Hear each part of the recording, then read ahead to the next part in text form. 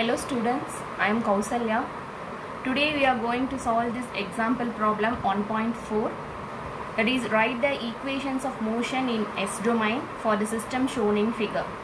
S domain is nothing but whenever we write our force balance equation in Laplace transform it is known as S domain equation and they are also asked to find determine the transfer function of the system. So this is the given problem. So from this problem here the problem seems to be look simple but there is a small trick which we must know. So here this problem consists of only one mass right? But here the main thing is here this spring and dashpot are getting directly directly connected.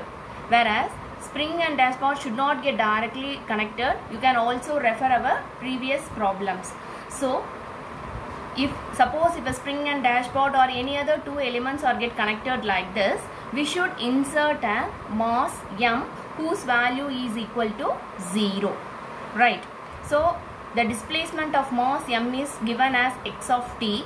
And here the displacement of mass m equal to 0 we are taking it as x1 of t. Right. Now we are going to uh, find the transfer function. So for that I am going to draw the free body diagram of mass m1 so here in this case it is clear that that is mass m. So just count the number of elements which is connected to mass m. So here in this case we will be we are having b2 b1 so totally two elements are connected with mass m. Apart from that there is an applied force f of t. So first I am writing the applied force. So the applied force is F of t and the opposing force is there will be an opposing force provided by this mass m. So first I am writing this one Fm and the second opposing force is given by Fb1 and the third opposing force is given by Fb2. Right. Now I am going to write the force balance equations. So as we all know that here Fm is directly proportional to the d square x by dt square so which is nothing but which is equal to proportionality constant is m here. So m into d square x divided by dt square. And the next one is fb1 so fb1 will be directly proportional to the dx by dt. So here the proportionality constant is here as it is b1 so just write it as b1 into dx by dt. And the next one is fb2 so here fb2 this b2 is connected between two masses that is m equal to 0 and m. As we are drawing the free body diagram of mass m we should consider the respective displacement of mass m which is nothing but x. So fb2 is directly proportional to d by dt of x minus x1 right?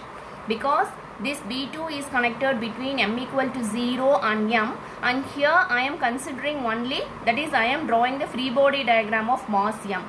So the respective displacement of mass m is x so I have to write it as x minus x1.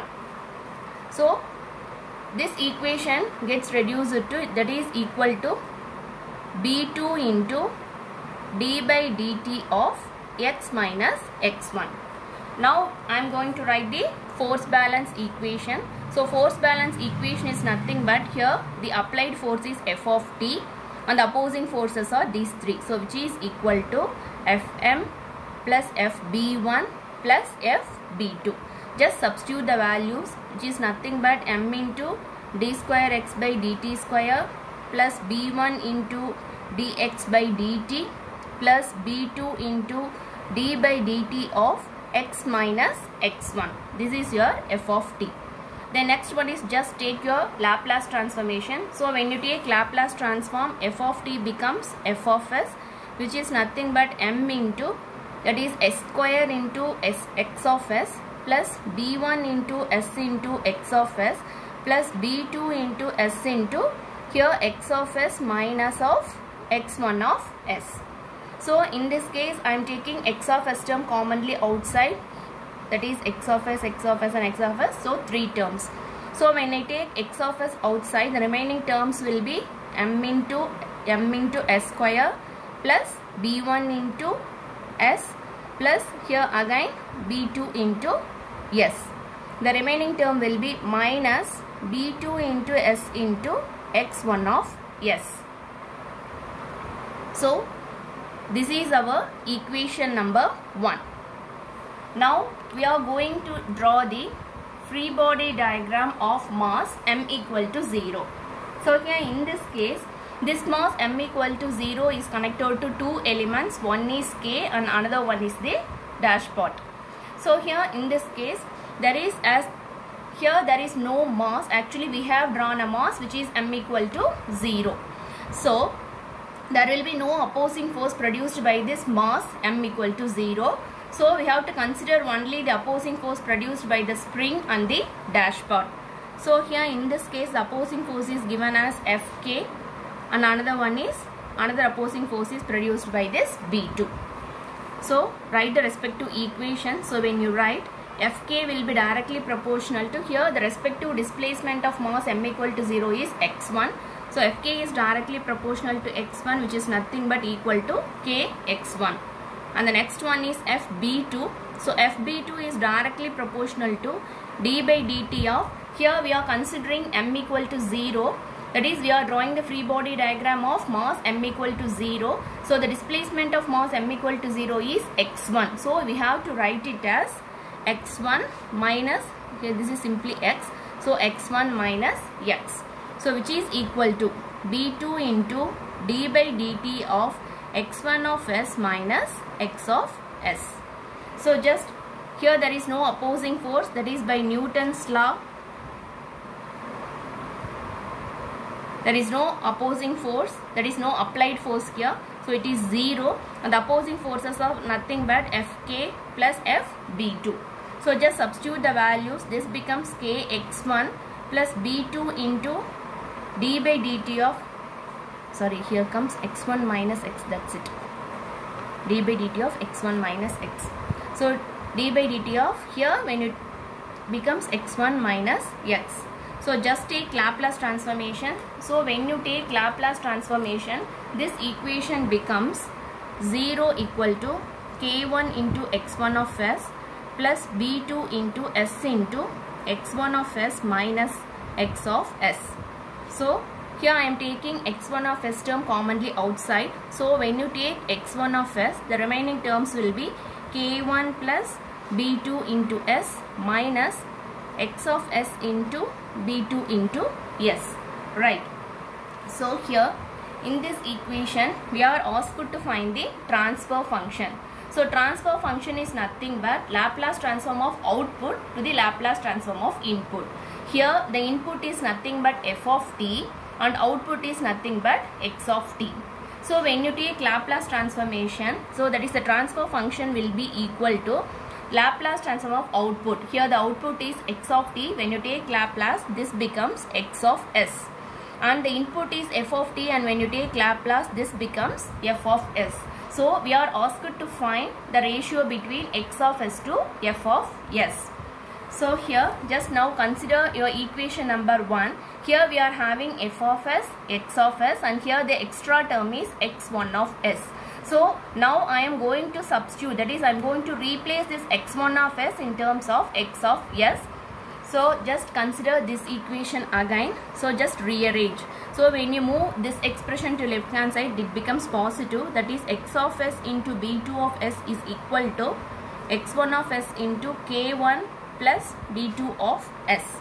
So we want only x1 of s. So x1 of s is nothing but x of s into b2 of s divided by k1 plus b2 into s. Right. So let this be equation number 2. Now substitute this equation number 2 in, in our equation number 1. Right.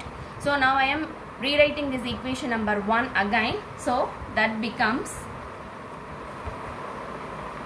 f of s is equal to x of s into ms square plus b1s plus b2s minus b2s into x1 of s.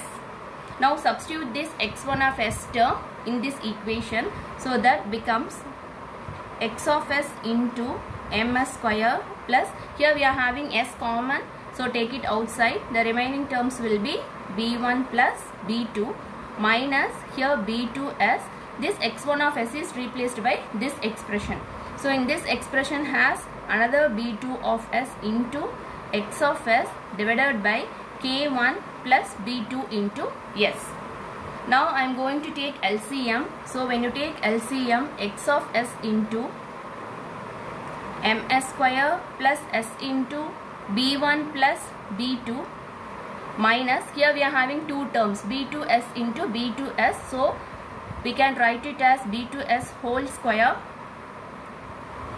divided by k1 plus b2 into s. So when you take LCM just multiply this. Okay this expression gets multiplied with this expression.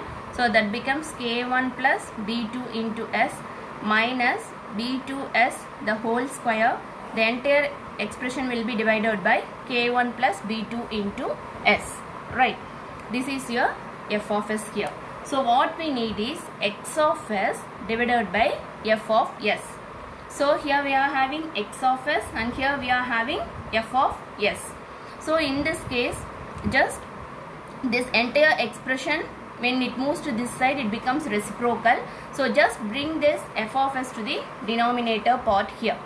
So x of s this f of s is brought down here. So this entire expression will move to this side. So we will be having k1 plus b2s divided by ms square plus s into b1 plus b2 into k1 plus b2s